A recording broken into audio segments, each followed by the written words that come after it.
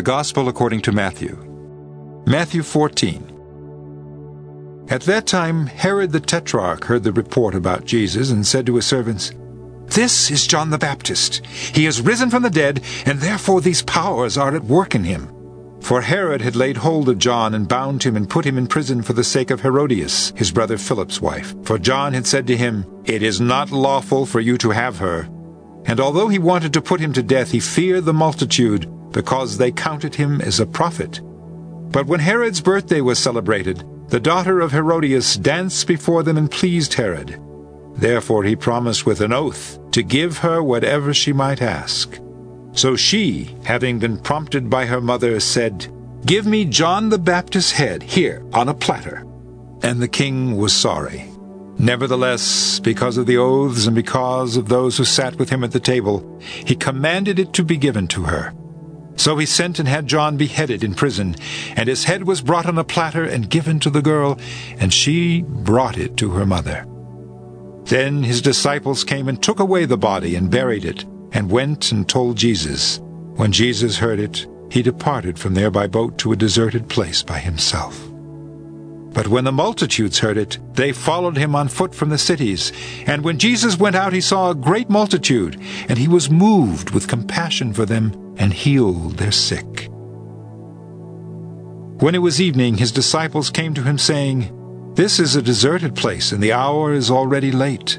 Send the multitudes away, that they may go into the villages and buy themselves food. But Jesus said to them, They do not need to go away.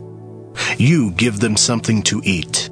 And they said to him, We have here only five loaves and two fish. He said, Bring them here to me. Then he commanded the multitudes to sit down on the grass. And he took the five loaves and the two fish, and looking up to heaven, he blessed and broke and gave the loaves to the disciples, and the disciples gave to the multitudes. So they all ate and were filled, and they took up twelve baskets full of the fragments that remained. Now those who had eaten were about five thousand men, besides women and children. Immediately Jesus made his disciples get into the boat and go before him to the other side, while he sent the multitudes away. And when he had sent the multitudes away, he went up on a mountain by himself to pray.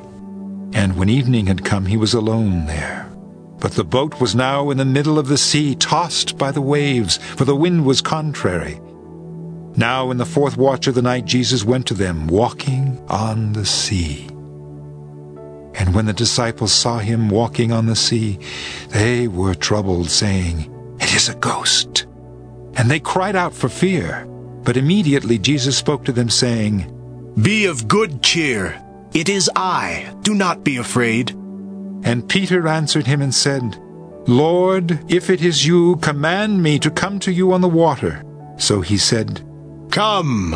And when Peter had come down out of the boat, he walked on the water to go to Jesus. But when he saw that the wind was boisterous, he was afraid, and beginning to sink, he cried out, saying, Lord, save me!